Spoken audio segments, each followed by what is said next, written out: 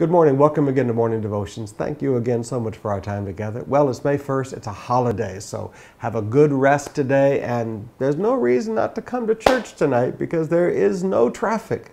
I'll be continuing in what great revivals look like. Jonah bringing a city to God in three days.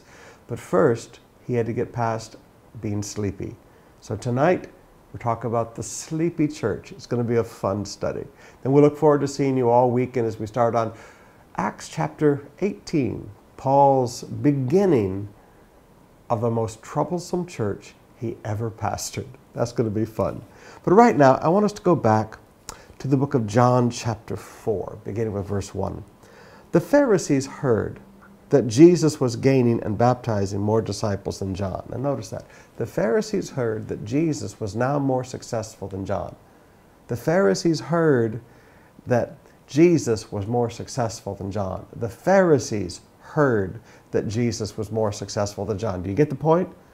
We're talking about the Pharisees here. Although, in fact, Jesus was not the one who baptized, but his disciples. When the Lord learned of this, when he learned what the Pharisees had heard, when he learned that the Pharisees had heard that he was more successful than John, he left Judea and went back once more to Galilee. Now, brothers and sisters, there's a principle of leadership that you need to learn.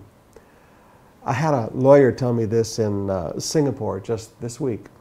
He said, Is your church loud? I said, Oh my goodness, yes, we're very loud. We love to worship and sing and dance and shout, and we love music. He said, No, no, no, no, that's not what I'm talking about. And I thought it was a very interesting way to put it. He said, Is your church loud? Do you like to always be noticed? And do you want to be seen? And do you make a big splash? In other words, he was talking about were we looking to be the center of attention and make a big deal about ourselves? He said, you know, some churches do very little things, but they make it look so big because they're loud.